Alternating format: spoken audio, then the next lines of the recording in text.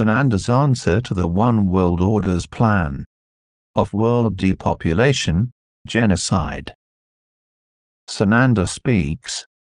When things become so unbalanced within a segment of universal existence, creation, that annihilation of a species and created planet is destined, the creation demands rebalancing, and things begin to happen instantly toward that end. It is not mystical, it is most practical, indeed. It always occurs on the human-infested planets, and ultimately, God Creator sends his hosts and Christ light to stop the hordes of evil, the dark brotherhood of Satan. First, the teachers of light and workers, who have been sent forth are removed, if suitable. Some, of course, remain to maintain passage in safety for ones of the light. Then ultimately, here is a most magnificent confrontation of the energy forces of the Christ and of Satan. Satan likes the playground and efforts at building his forces enough to prevail. He never does, but he never ceases in his efforts.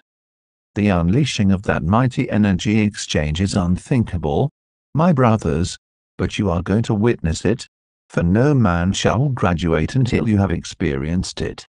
What level of education you graduate into is strictly up to you to choose, progression or regression. So be it. Source Phoenix Journal number 9, chapter 9, page 61.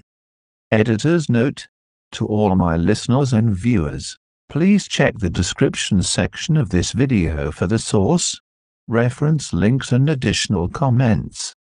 From there, you will also have access to the Phoenix Journals, which were banned by the U.S. government, along with the initial set of foundational Phoenix Journals recommended by Commander Hatonn to read, reread, and study first. The journals serve to unravel and clarify the many lies, tamperings, and misconceptions foisted upon the masses by those who seek to control the thoughts, perceptions, and actions of others from generation to generation, especially those concerning the true Christed life teachings of Esu Jmmanuel Jesus Sananda. For uninformed readers, the new name and title of Sananda represents an earned level of utmost respect and achievement for the accomplished and highly revered master teacher, meaning one with God. In fact, even your mistranslated and tampered with Bibles mention that he would have a new name upon his return.